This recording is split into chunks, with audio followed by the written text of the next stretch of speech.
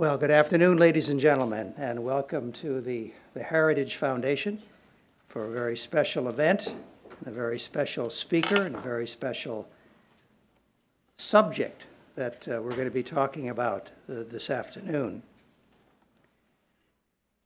Amid all the cacophony that prevails in Washington, one clear, calm voice of reason can be heard that of George Will.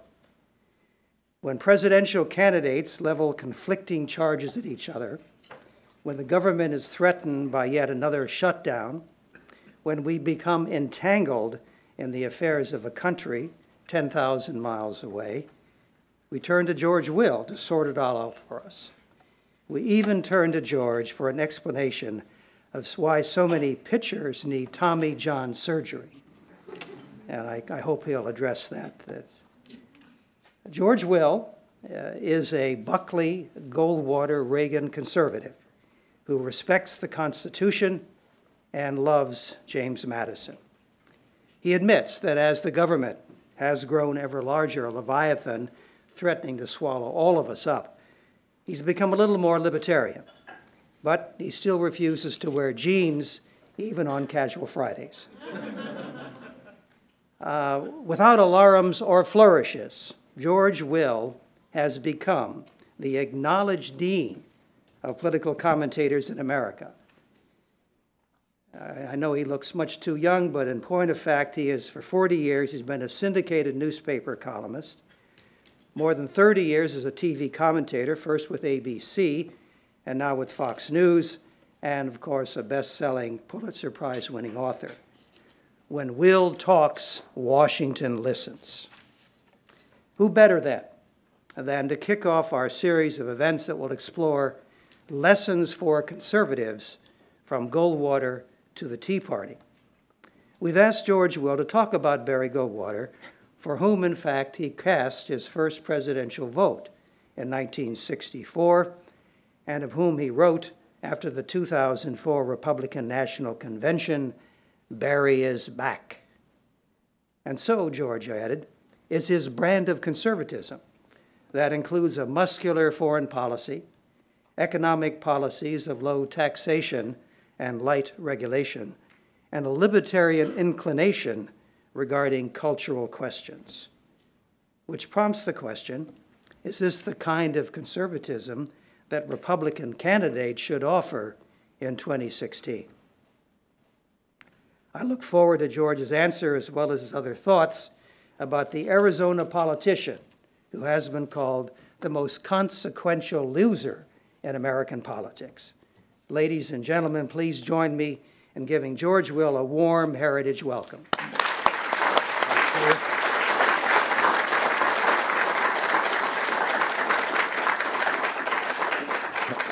Thank you for that introduction. It proves that not all forms of inflation are painful. Um, I will address Tommy John surgery in the fullness of time. I only write about politics to support my baseball habit. Casual Friday in my office means not black tie. Uh, I do have one pair of jeans which I wore once, and that was because it was required for Jack Danforth's 70th birthday party, the music there being provided by Jerry Jeff Walker, uh, artist responsible for the epic song Up Against the Wall, Redneck Mother. Um, I, uh, I, I, look around here, the, some people here are as old as I am, which is sad, and the rest of you are so young that Barry must seem something like the Peloponnesian Wars to you, a, distant memory. And I want to make it a, a little more relevant here.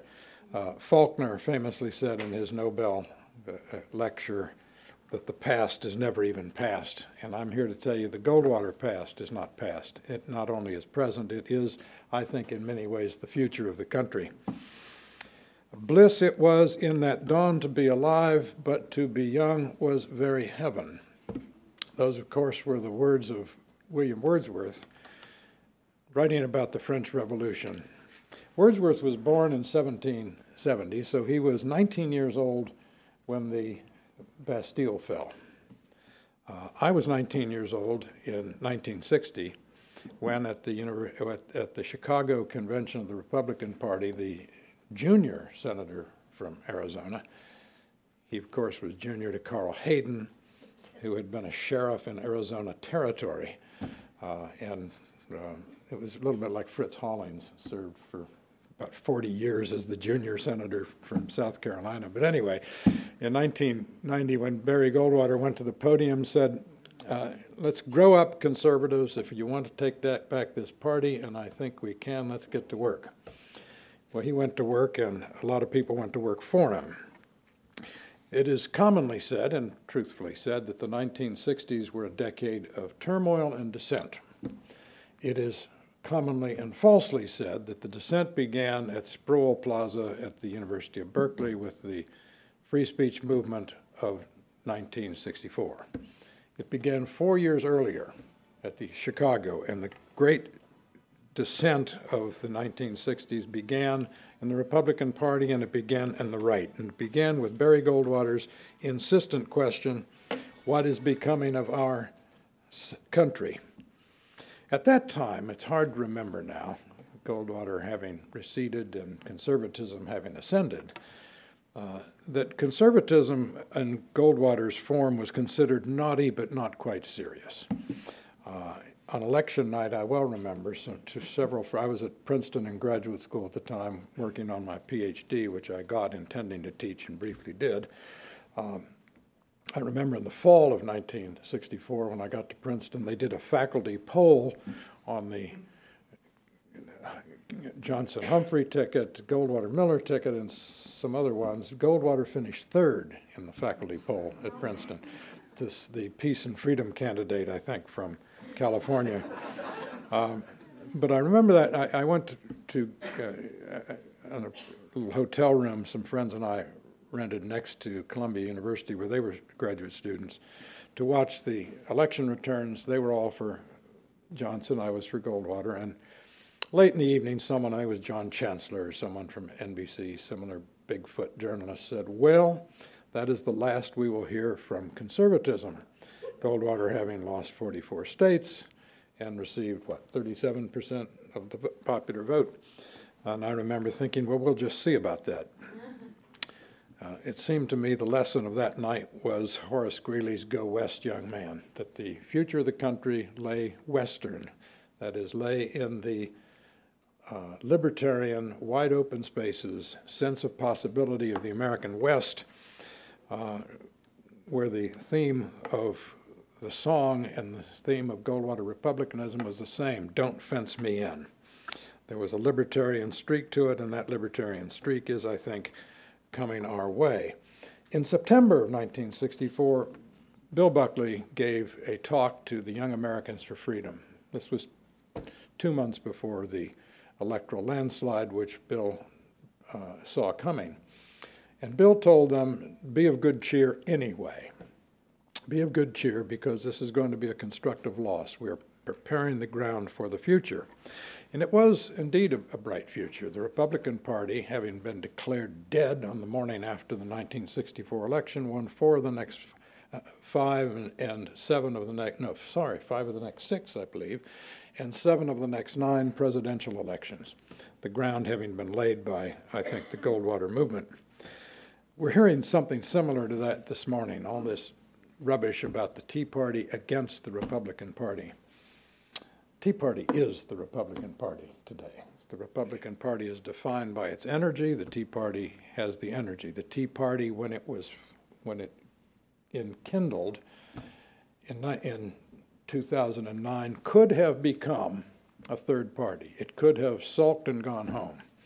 Instead, it joined the Republican Party, which makes all the more remarkable because the Tea Party and the mainstream media has never understood this. The Tea Party began as a reaction against the Republican governance of this country from 2001 through 2008. No Child Left Behind, the eighth, I guess, iteration of the Elementary and Secondary Education Act passed in 1965. James Q. Wilson, the greatest social scientist of his generation, said that that, the education, uh, the Elementary and Secondary Education Act, was the end of what Jim Wilson called the legitimacy barrier.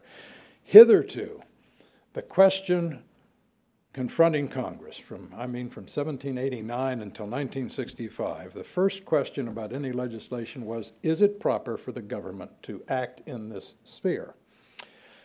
That was the legitimacy barrier that had to be at least rhetorically addressed. Perfunctory attention had to be paid to it. After the Elementary and Secondary Education Act, there, that was essentially gone. Uh, the Tea Party, I think, understood this viscerally, if not quite in the sophisticated categories of James Q. Wilson. The Tea Party was enkindled before Barack Obama got their attention by the prescription drug entitlement, the first new entitlement ever passed without a dedicated burst into flame. The kindling was ample and the kindling was dry. As it was in 1964 when the precursor of the Tea Party began in the Goldwater movement. Teddy White, Theodore White, in his, the second of his many uh, The Making of the President books, in The Making of the President, 1964, said Goldwater had a contagious concern he introduced the condition and quality of American morality and life as a subject for political debate. Indeed, he did. I once wrote a book called Statecraft to Soulcraft, read by dozens.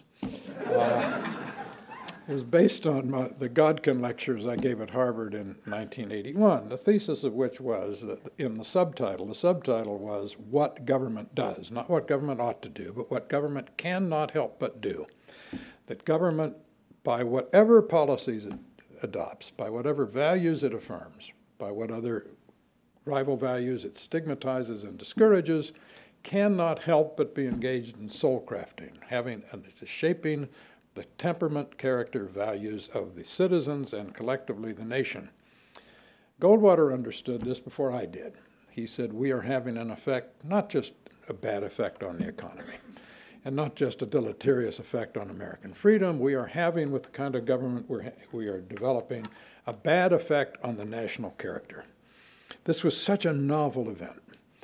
Uh, at about this time, the, before Goldwater, about the time actually Goldwater got elected to the Senate, 19, what, 52, Lionel Trilling, the leading literary critic of his day at Columbia University, wrote a book called The Liberal Imagination, in which he famously said, There are no, none, no conservative ideas today in general circulation.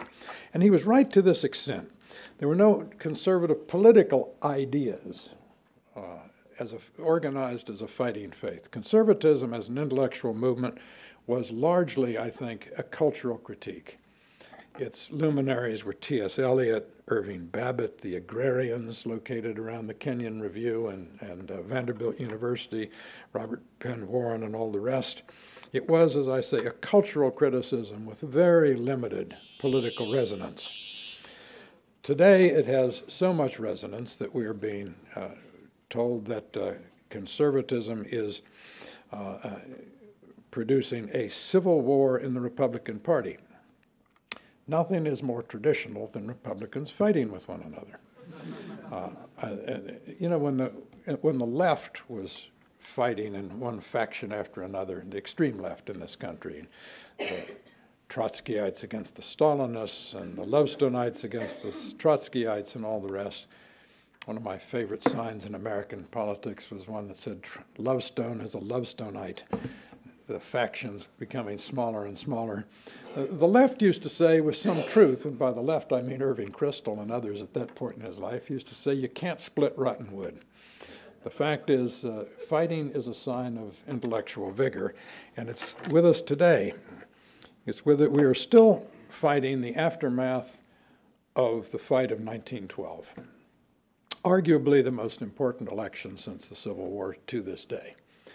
Uh, in 1912, of course, Teddy Roosevelt, chafing under uh, the absence of power and proving that the absence of power corrupts absolutely, uh, Teddy Roosevelt decided to challenge a sitting incumbent president, his former friend and Vice President and, and Secretary of War, William Howard Taft.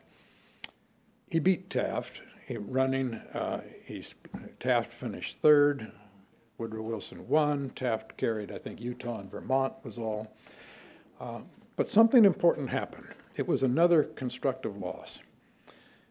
At a crucial moment in 1912, two leading Republicans, Elihu Root and Henry Cabot Lodge, both of whom were close personal friends of Teddy Roosevelt's. Not just friends, they loved Teddy Roosevelt. They refused to side with Teddy Roosevelt. Instead, they stuck with what they knew to be the doomed campaign of the incumbent president. Had they not done so, we would have had from then on two progressive political parties. We would have had not a choice but an echo beginning in 1912. In 1948, again, when Dewey led the party down to defeat and uh, setting the stage for Everett Dirksen going to the uh, podium in 1952 at the Republican convention that was about to nominate Dwight Eisenhower, Dirksen of Illinois being a great Taft supporter, pointing to Dewey saying, we followed you down to defeat twice before. This kind of dissent within the Republican Party is absolutely normal. Now, what Dewey did that pay, pay, prepared the ground for a conservative revival was not just lose to Truman, not just to lose an eminently winnable election, not just to produce the famous Chicago Tribune headline, Dewey defeats Truman. He conducted a campaign of such rhetorical vapidity, of such complacent generality, that the Louisville Courier Journal said you can distill his speeches into four sentences. Agriculture is important. Our rivers are full of fish. You cannot have freedom without liberty. And our future lies ahead. That was 1948. 16 years later, the party went for the man known for plain speaking, Barry Goldwater. Uh, and that's why 1964, like 1912, was a constructive loss. First of all, because Barry Goldwater captured what the Taft forces maintained control of, thanks to Root and Lodge and some others, captured the party machinery. Politics in the United States is inevitably a team sport, which Barry Goldwater understood. And the team is the party, and the party machinery matters. Second, in 1964, as in 1912, the steadfastness of the candidate in the face of inevitable political adversity gave people confidence. Not just confidence that it was worth fighting and losing, but confidence that there were certain things you could say in polite society that might discomfort polite society, but we don't care. Third, in 1964, Barry Goldwater energized a whole cadre of young people. One of them, not so young anymore, sitting here. Uh, there was a young uh, law student at Stanford at the time, first in his class. Third was Sandra Day O'Connor. First in his class at the Stanford Law School was uh, William Rehnquist. Went back to Arizona, was energized by Barry Goldwater, and in 19 uh, in the 1980s was elevated to the Chief Justiceship, moved down the bench to the center seat by Ronald Reagan, who, of course, famously was catapulted to prominence and into his political career by the famous Time for Choosing speech made in October 1964, because Barry Goldwater, reading a speech that was to be given, said, it, It's good, but it doesn't sound like me. Get Ronald Reagan to give it. A very good choice. It's, it's, it's uh,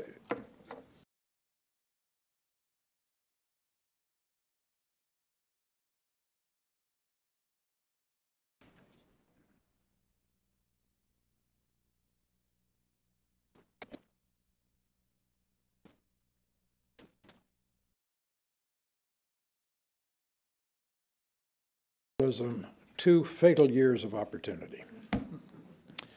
Between 1938, when Franklin Roosevelt proposed enlarging the Supreme Court for the purpose of packing it, and was so severely rebuked by the American electorate, that between 1938 and through 1964, there never was a liberal legislating majority in Congress. Congress prevented that with a coalition between Republicans and conservative Southern Democrats, who, when I came to this town in 1970, ran the town, conservative Southern Democrats. Then the landslide was broken by the, the, the devastating uh, Goldwater defeat. Johnson had veto-proof uh, veto-proof uh, majorities in both houses of Congress and would never have to veto anything anyway. And this was because Goldwater had forced the country to understand that there was another argument to be had. The country wasn't ready for it. The country would get ready for it. I have often said that Goldwater didn't lose in 1964, it just took 16 years to count the votes. It is hard to remember now the scandalized, how scandalized people were. There's a famous story that a journalist in the press section at the Cow Palace in San Francisco, where Goldwater was nominated. When Goldwater got to the famous line in his acceptance address, uh, extremism, pursuit of justice is no vice, and moder- uh, uh, uh, freedom, liberty is no vice, and moderation, pursuit of virtue, justice is no virtue. The journalist famously rocked back in his chair and said, Good God, Goldwater is going to run as Goldwater. what a thought. Few people realize, and this might be of interest to you, uh, that was Goldwater in 1964. In 1963, Martin Luther King in Birmingham jail wrote a letter that's a masterpiece of American political rhetoric in which he said the following You speak of our activity in Birmingham as extreme. But though I was initially disappointed at being categorized as an extremist, I I, as I continued to think about the matter, I gradually gained a measure of satisfaction from the label. Was not Jesus an extremist for love? Was not Amos an extremist for justice? Was not Paul an extremist for the Christian gospel? Perhaps the South, the nation, and the world are in dire need of creative extremists. Well, I don't actually think Barry was an extremist because if he was, that means James Madison was. It means George Mason was. It means that the founders who gave us our vocabulary of limited government were extremists, and that's all that Barry Goldwater was insisting upon. Dr. Johnson famously said people more often need to be reminded than instructed. Goldwater was a great reminder, a very great reminder. Now, he, he did say this about extremism at a, at a difficult time. He said it when the John Birch Society was a problem for the Republican Party, saying things like Dwight Eisenhower was a communist, moving Russell Kirk to say Dwight Eisenhower's not a communist, he's a golfer. Um, it was the summer, in fact, June 21st, 22nd, the night of the, in 1964, that three civil rights workers, Schwerner, Goodman, and Chaney, were murdered in Neshoba County, Mississippi. So it was dangerous and probably not wise for Barry to use the words extremist because it unleashed a kind of criticism of Goldwater that prefigured the treatment of conservatives by the mainstream media now. Let me give you one example. 1,189 registered psychiatrists answered questions about Barry Goldwater, not one of whom had ever met him. They said he was emotionally unstable, immature, cowardly, grossly psychotic, paranoid, uh, classic schizophrenic, and a dangerous lunatic. And he's the one guilty of extremism. On the eve of uh, the convention that nominated Goldwater, Daniel Schorr of CBS News, a star of CBS News, and CBS was then the Tiffany Network, quite the exemplary thing. Goldwater had said offhandedly that he might, after the convention, take a short vacation in Europe. Daniel Schorr said the following It looks as though Senator Goldwater, if nominated, will be starting his campaign here in Bavaria, which is where Schorr was, center of Germany's right wing and Hitler's one time stomping ground. Goldwater said Schorr would be vacationing near Hitler's villa at Berchtesgaden.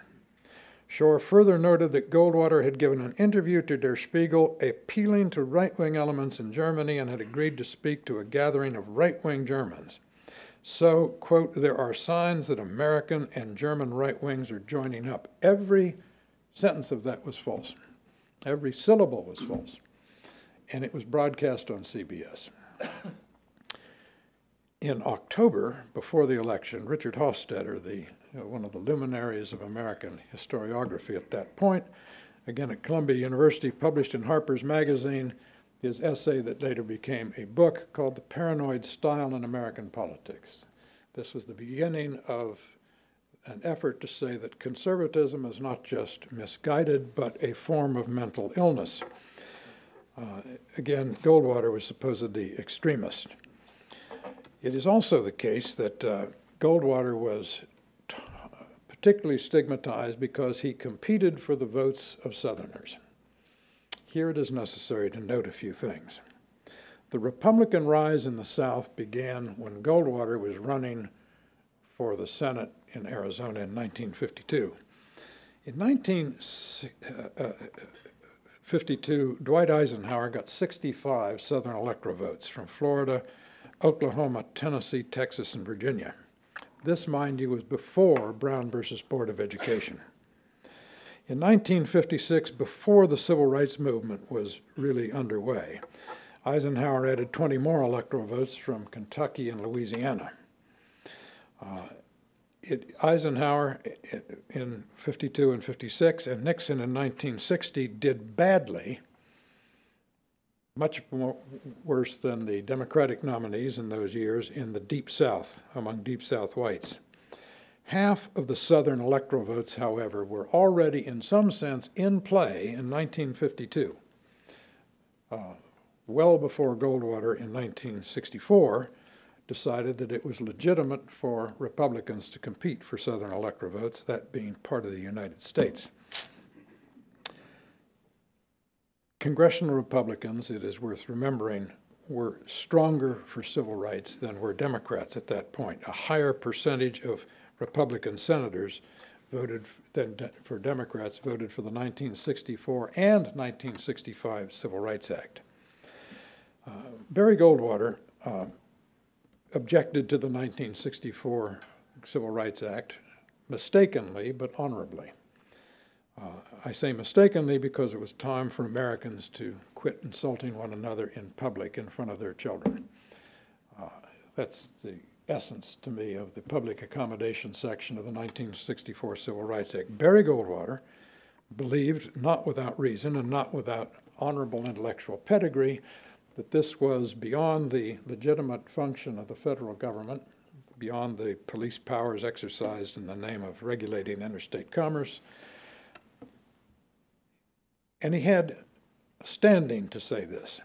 When he had been on the Phoenix City Council, his first public office, he had been active in passing for uh, Arizona, uh, for Phoenix itself, a number of Civil Rights Act. He was instrumental in the founding and nurturing of the Phoenix chapter of the NAACP.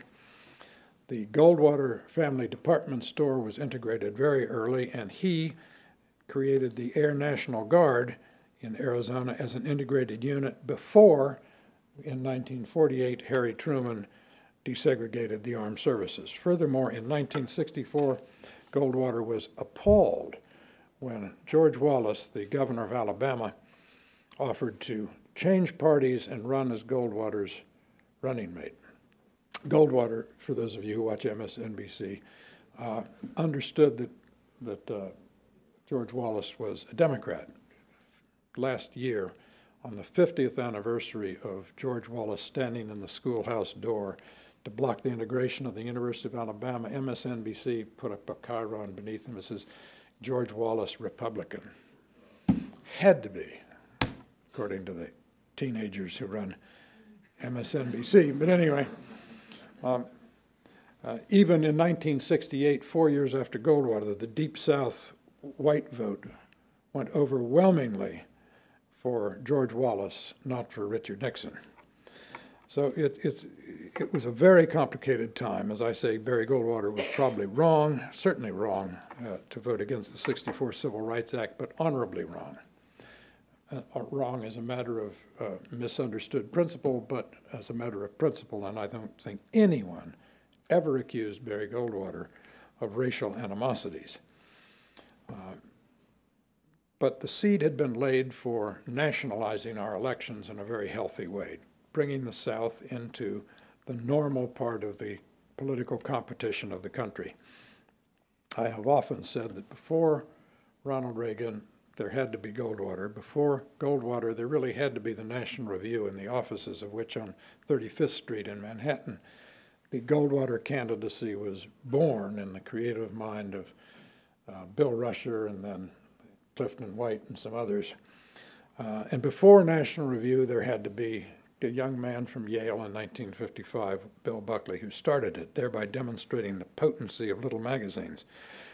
Given that, without National Review, there's no Goldwater. Without Goldwater, there's no Reagan. And without Buckley, there's no National Review. You can argue, and I have so argued, that Bill is the, certainly the most consequential journalist of the 20th century. But he would not have been if in 1964 Goldwater had not narrowly won the California primary and been uh, uh, nominated. I, get, I find it so amusing to listen to people today talk about the Republican establishment. Google the Republican establishment, that phrase, you'll get a thousand hits, a billion hits. Google Loch Ness Monster, you'll get lots of hits. Neither of them exists. Uh, and the Republican establishment in 19, the Republican establishment died in 1964 when its house organ, the New York Herald Tribune, died.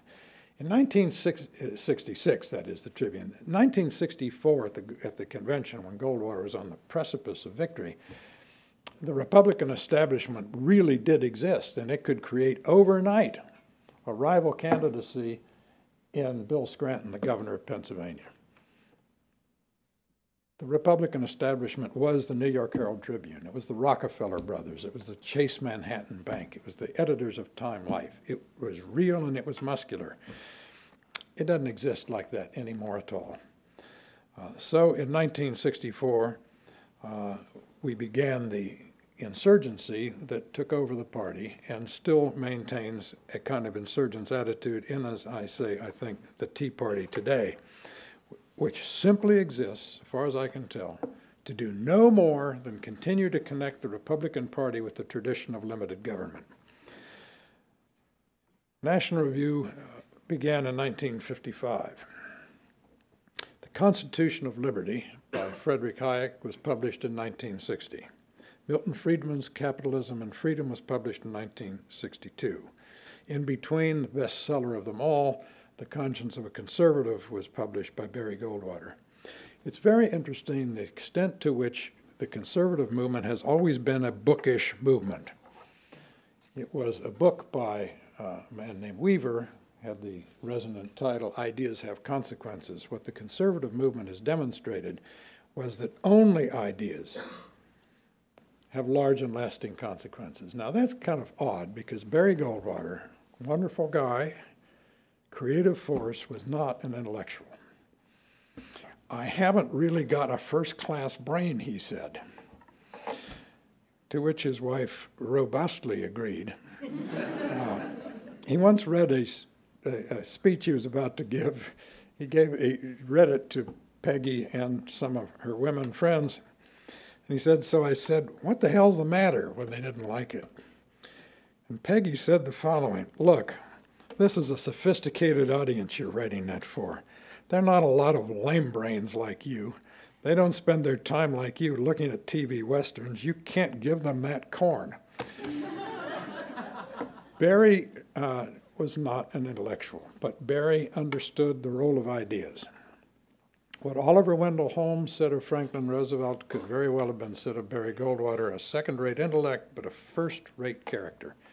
And as a first-rate character, he did not flinch from having first-rate intellects around him, which is again why his was a loss as constructive as William Jennings Bryan's three losses for the Democratic Party were constructive, changing the vocabulary and energy and trajectory of their respective parties. And that's why, again, in 1964, Barry Goldwater looked at that speech, says, it's good, but it doesn't sound like me, get Reagan. Well, much has happened. I remember, if I may wax autobiographical for just a moment. In 1960, I was at Trinity College in Hartford, and I was interested in politics, and I was a supporter of Jack Kennedy. People tend to forget that Jack was, if anything, to the right of Richard Nixon on the Cold War issues of the day. 1964, I came back from two years in England and voted for Goldwater. What had happened? Well, in England, I had seen the suffocation of a great, vibrant nation by the watery socialism of the post-war British settlement. And in Berlin, I had seen the Berlin Wall that had gone up in August of 1961. At 19, between in my stay in England, I had read Hayek. I had read the New Individualist Review, which was published by the at the Committee on Social Thought at the University of Chicago, Stigler, Hayek, Frank Knight, all the rest.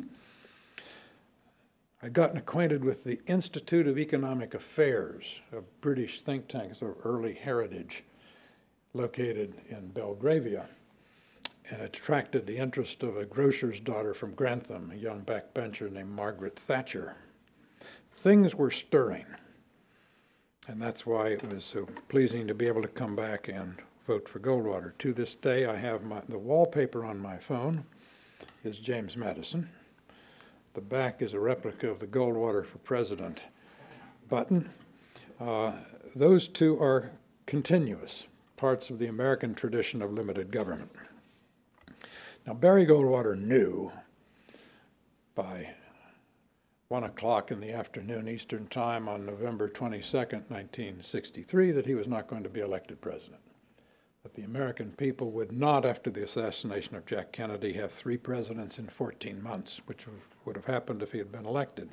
Still, 27,178,188 voters can't be wrong. Two of them are sitting here. Any more here, by the way? Voted for Goldwater? Yes, outstanding. Good for you guys. Um, and as I say, it took 16 years to count the votes, but elections don't just end, elections reverberate and this has reverberated a very long time. Uh, Goldwater, I used to visit uh, occasionally when I would go to Phoenix. His home was on a mesa in the valley, uh, where he said he built the home where he used to camp under the stars when he would ride up there by horseback at a time when there were fewer than 100,000 people in the Valley of the Sun. Today, there are about four and a half million people there. In a sense, the geometry of his face, those sharp planes and tanned and crow's feet around his eyes, the geometry of his face replicated the geometry of his state of Arizona. He was, as a sympathetic but politically hostile commentator Richard Rovere of The New Yorker said he was the cheerful malcontent. And it was very important to be cheerful, he understood. And the cheerfulness was, I think, part of his libertarianism.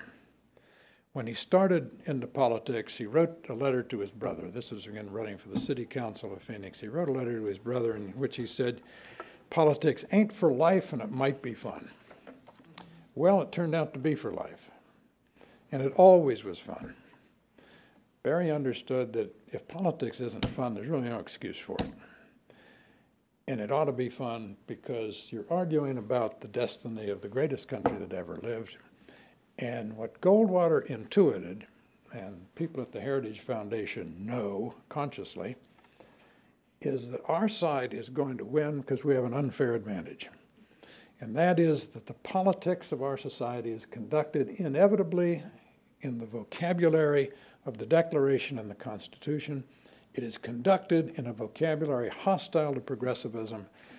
The language of American governance of our two founding documents is the language of conservatism. It cannot be co opted by the other side, which is why, in the fullness of time, the votes from 1964 really will be counted and will live uh, once again in Goldwater's America. Thank you very much.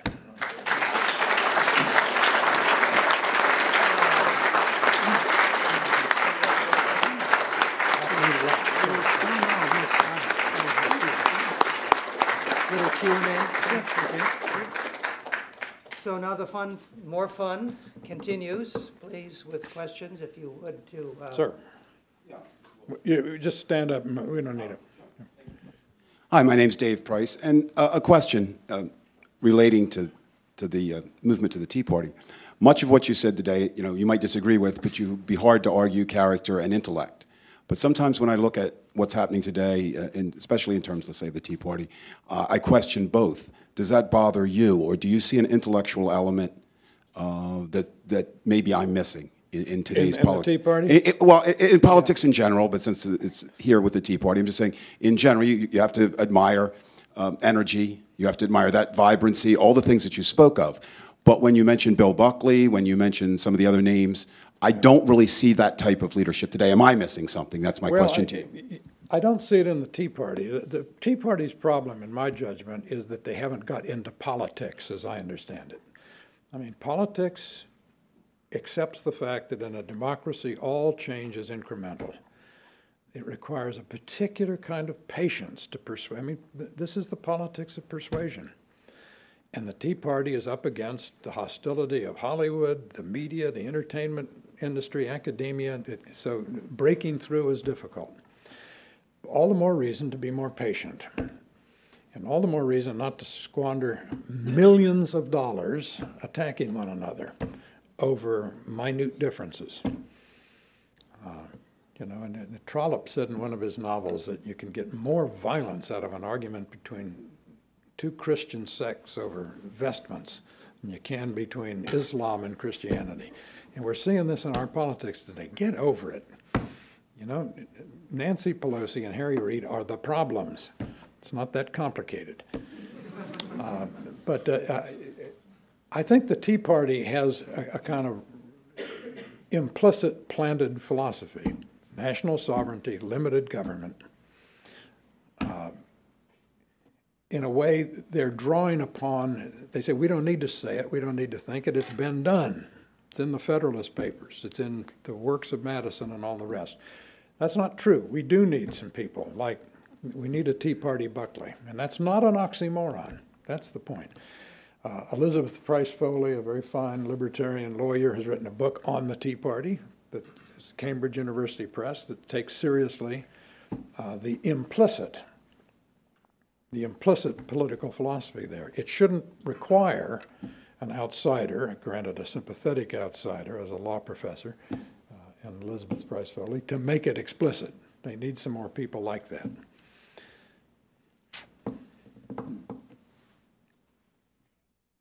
Thanks so much for coming. Uh, I'm Jonathan Crowe. I work here at Heritage. Uh, One of my favorite uh, Goldwater quotes is one that you hinted at uh, in your speech. You said That in 1980, the Republican Party finally offered a choice, not an echo. And I was wondering if you might offer some insight or some thought as to where are we on the journey to offering the American people a viable choice, not an echo? And on that journey, what needs to continue to happen to sharpen the choice uh, in a, in a way that matters. Well, uh, here's the problem. I'll put it in a nutshell. we hear much today about the discord in Washington, and Lord knows there's a lot of that.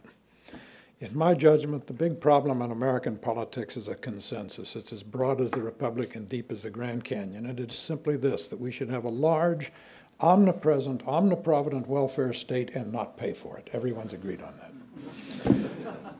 the American people have a serious case of cognitive dissonance. They, they are, as a political scientist said about 50 years ago, they are ideologically and rhetorically conservative, but they're operationally liberal. They talk like Jeffersonians and vote for Hamiltonians. And the American people have to be, uh, and this is a thankless task and a politically hazardous task, they have to be brought face to face with their own divided mind. Goldwater, uh, uh, Reagan's speech in 64 for Goldwater is called A Time for Choosing. It's still time, and we're still not making the choice. Now, there are those out there who are saying this is what the choice would look like. Paul Ryan's budget, for example, is as clear an example as I can think of. But it's, it's perilous territory you're tiptoeing onto. Perilous territory, not just because the Democratic Party won't even consider a chain CPI. They say, of course it's more accurate. We don't care.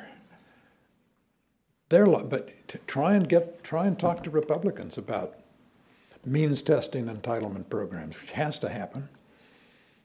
I mean, we know what the future holds, we just don't know how to get there.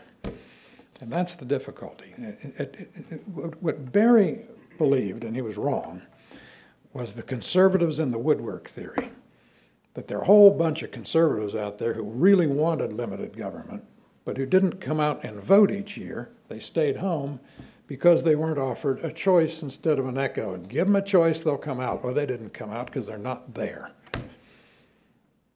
There is a sturdy, robust cohort of Americans, a not trivial minority, but a minority that really believes we should make serious progress toward limited government. But what Goldwater thought it wasn't a matter of persuading, it was a matter of eliciting them. We now know better. We're sadder and wiser, and we know it's a persuasion problem, and we got a long way to go. Sir?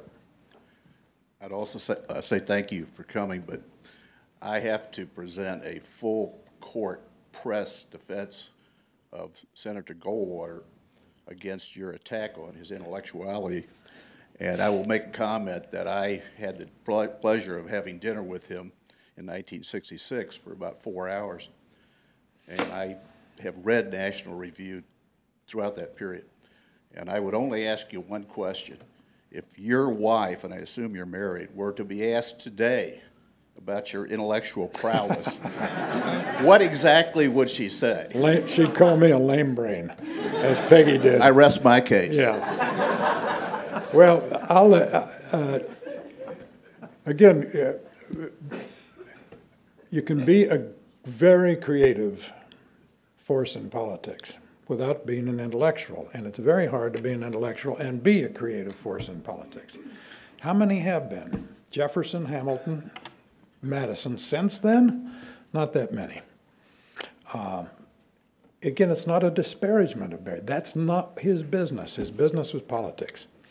And Barry had the good sense to be advised economically by Milton Friedman, not a shabby economic advisor. Uh, and a lot of others came aboard.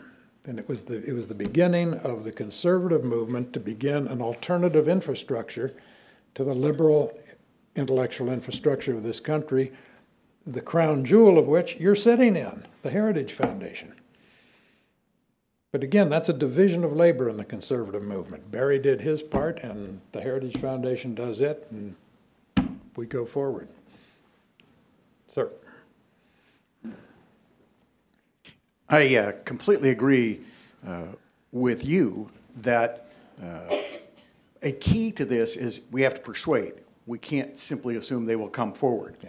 Um, And my question of you is, uh, I noticed amongst the Tea Party, and I think you're right, they would change if they engaged in actual politics, uh, and also, unfortunately, among too many conservative leaders, that they think they can beat people into changing their view by either intellectual correctness or condemnation. And it seems to me Goldwater and others, including Reagan, illustrated that, you have to be a happy warrior, uh, that you have to be cheerful in order to be persuasive. And I guess my question of you is, uh, what how, do you agree, and how do we get conservatives to wage this more in the style that Goldwater did with good cheer?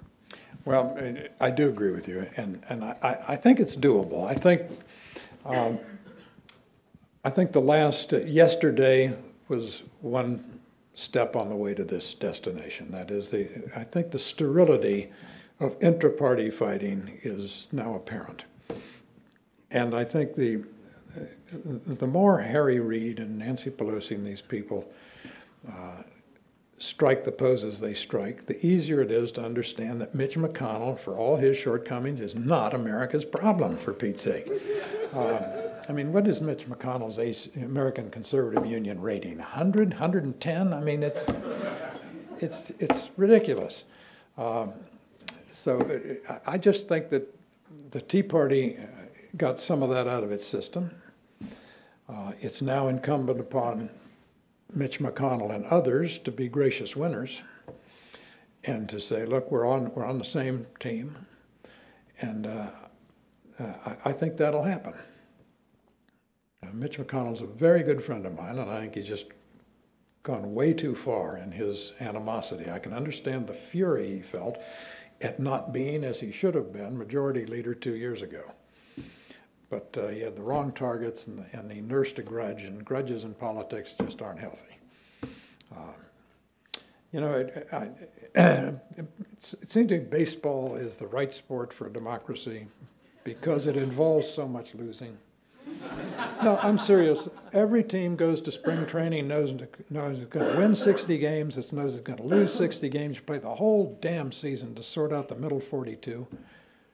You win 10 out of 20, you're definitionally mediocre. You win 11 out of 20, you win 89 games, and you probably play in October.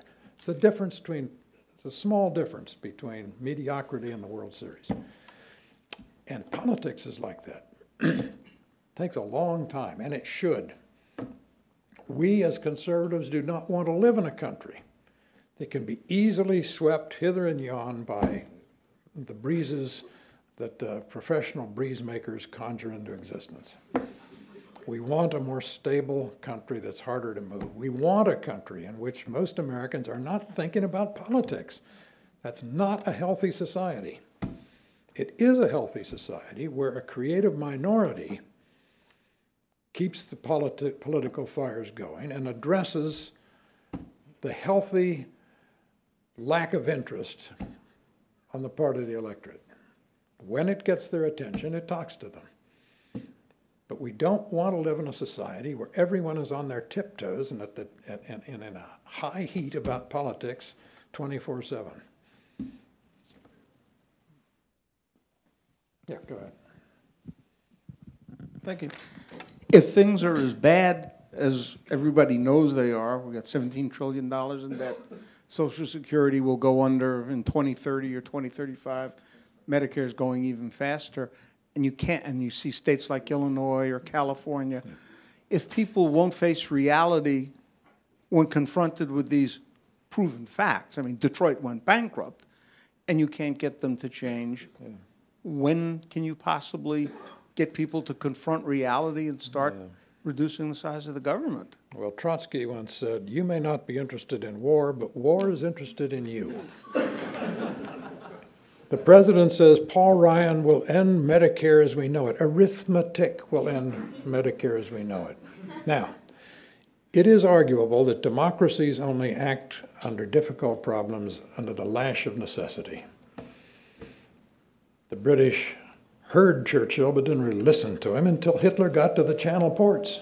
Then they said, oh, yes, this is getting serious.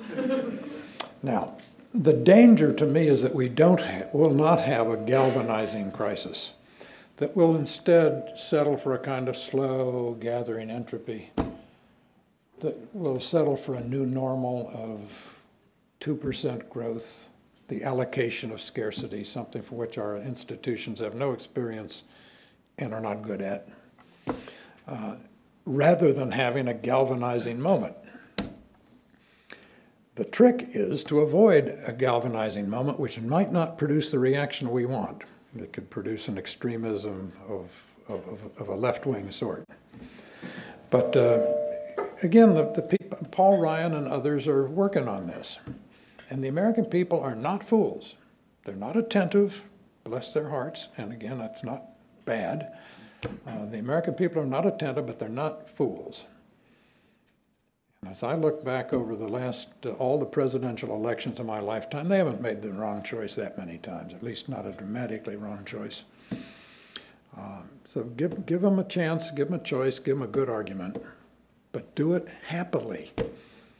People don't want snarling people in their living rooms. This is now, uh, politics is now intimate. Television has made it such. These people are in our living rooms at the dinner hour. Behave accordingly. Yeah. I think, I think you have it. I think the interesting thing is that the Tea Party, the people that are at the actual Tea Party, when there's of course a number of religious conservatives that formed groups that claimed the Tea Party name that aren't aren't the same people that I saw at the 912 rallies and weren't the same people that I saw it. So there, there's a difference between people that call themselves Tea Party and actual Tea Party people. But the interesting thing I'm seeing in places like Oregon is that the, the Tea Party people are, are very positive, very happy warrior-like. And as you saw in, in Oregon yesterday, they picked the happy warrior candidate who is Right. mistakenly referred to as establishment, when in fact she over, that's Dr. Monica Wehby. Yeah. She overcame the establishment Republicans because she pulled together a coalition of the middle of the roaders and the Tea Party conservatives against the establishment Republicans and won that race by good hard work. Yeah. Let me tell you a little story, then I'll take a final question or two. Um, Four days before Ken Buck, who I like, uh, pulled out of the race this year for the Colorado Senate seat, uh, I met with him in Colorado Springs. I said, how's it going? He said, fine. I said, where you been? He said, been down in Pueblo talking to Republican women. I said, what'd they ask you about? He said, they asked me why we're not impeaching Barack Obama. And I said, Well, what did you tell them? And he said, Well, I told him I'm a former prosecutor. I've had a lot of experience with selecting juries. The jury in an impeachment trial are senators. This doesn't look good. I said, Wait, wait a minute, Ken. You just generated a headline Buck ponders impeachment. That's not how you get elected to the Senate. Well, Buck's not going to be a congressman. That's good. And someone else will be a senator. I just wanted to add a, a fun piece of Goldwater lore to your story. First time I met him was I was asked to brief him before a speech and had some time alone with him. And he kept rubbing his face. And I said, Senator, is there anything wrong? He said, I didn't have any shaving cream this morning, so I used peanut butter. and he said, You know, it works really well as long as you don't worry about smelling like a peanut. Very good. On that note, oh, Tommy John surgery. Oh, well, we're reaching the limit of the human body's, the strength of our tendons to begin with. Um, kids are now pitching too much too young. Travel teams, they're playing 175 games a year before they're mature. And um, we may have to lower the mound again because the higher the mound, the harder it is on your the torque of your. your I mean, throwing a baseball is an unnatural act, and uh, that's why people get paid so well who can do it well. Uh, but uh, it's a little bit like football, uh, which I think is a mistake. Uh, football has simply outgrown the physiology of human beings at this point these 350 pound guys who over 20 yards, which is basically where football is played, are as fast as running backs. Uh, body's not made for that. And the way we're pitching now is not made for, we're, we're going to have to find ways to have people come to the big leagues with less wear and tear already in their arms and uh, be much more sensitive about pitching motions that put unnatural stress on what's already a highly stressful event. Thank you.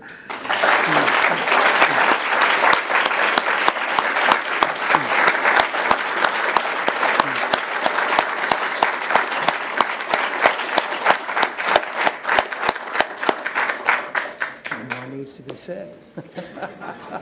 Whatever we do.